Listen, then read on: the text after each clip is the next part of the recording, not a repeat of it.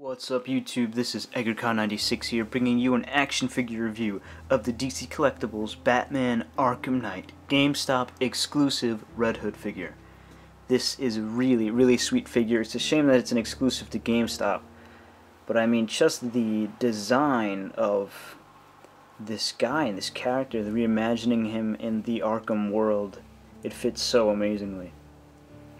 Now this figure uh, came out before they showed the gameplay trailer of him, so we first got to see his full design through the figure. Now, actually, uh, today, which is uh, June 7th, uh, they announced the official trailer for him, where we get a closer look at him in gameplay. Um, I'll put a link to that video in my description here so you can check it out. But overall, really solid figure. I mean, I'm loving the paint application, the sculpt, uh, the accessories, the articulation. Uh, this Arkham line is, I think, the best line of figures we've gotten from the Arkham games.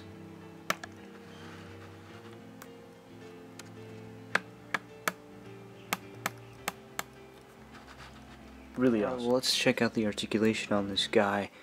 Uh, we have a ball jointed head here which is a bit difficult to move because of the hood.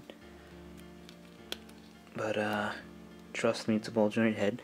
We can move the elbows out. We can move it in. We can fully rotate. We have double jointed elbows here. So we can get a cool gun pose all the way up.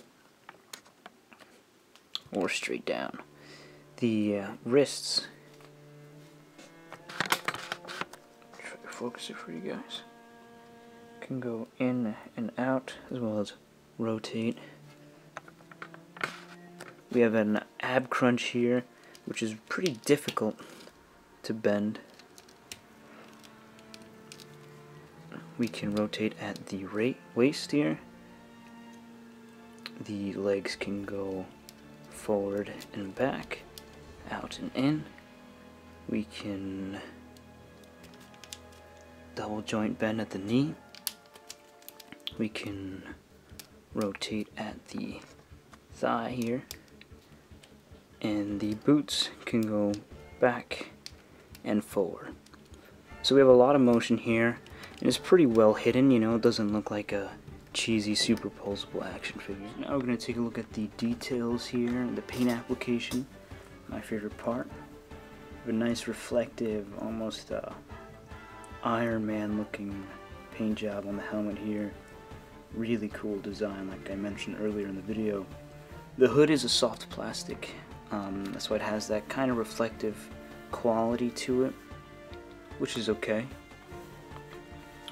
Moving on to the chest here. We have a really uh, cool uh, design for his emblem. It's not a bat, but it's kind of like, you know, his own Robin-esque symbol. Looks like we have a like sort of like a patch mark here, some stitching. Um, really cool design right there. Let's look at the back of the jacket. We have the same logo, uh, kind of like paint splattered, more stitching, cuts.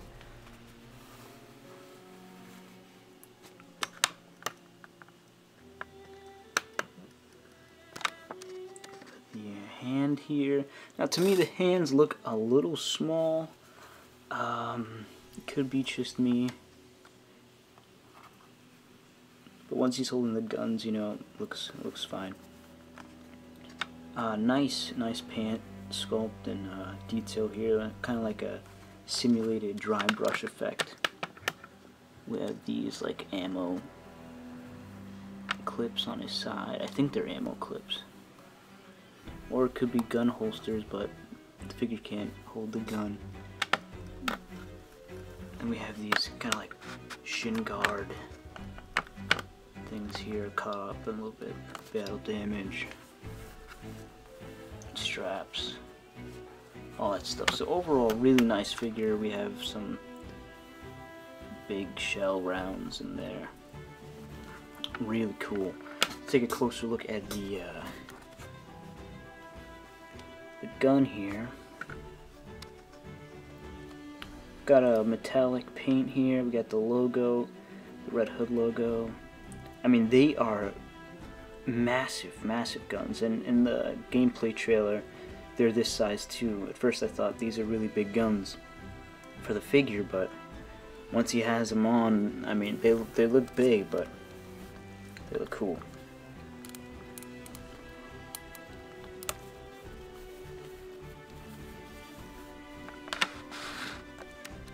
Overall, pretty sweet. Love this figure. I mean, like I said, I think this is, these are the best looking Arkham figures we have to date. I'm gonna bring in the uh, Arkham Batman here. He's the only one I have else in this series.